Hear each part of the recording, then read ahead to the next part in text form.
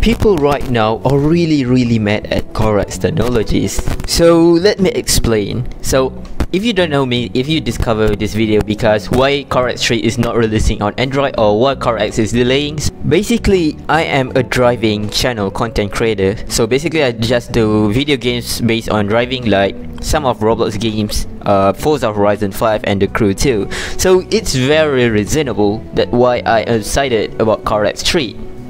But today, which is the 7th September, Corex 3 team developer just announced that they are delaying Android version of the game.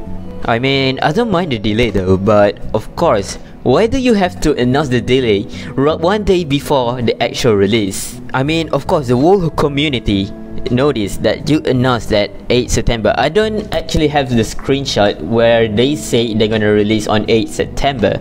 But yeah, of course, it's all over the internet and they did say that it's at least gonna release on September. Now they are delaying it into late October this year, which is one small delay. That's what make people really mad. I mean, I don't mind if it's one or two day delays, but a whole month. Same goes for the PC version, which are they delay even more longer. It's to 50 December 2022.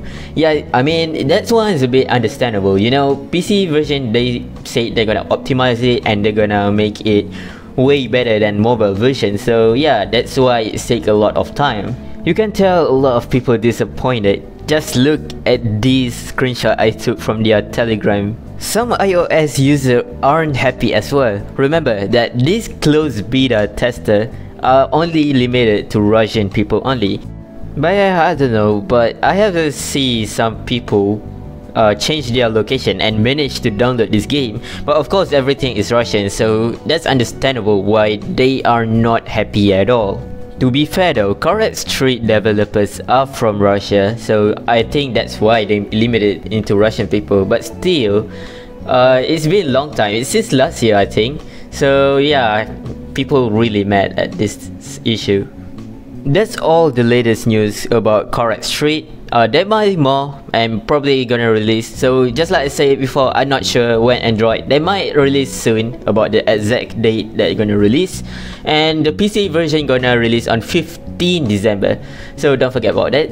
And also yeah I'm still looking forward on this game. So if you wanna see me to make more video about CarX Street or basically any other games that include driving so yeah don't forget to leave a like and subscribe and I'll see you guys in next video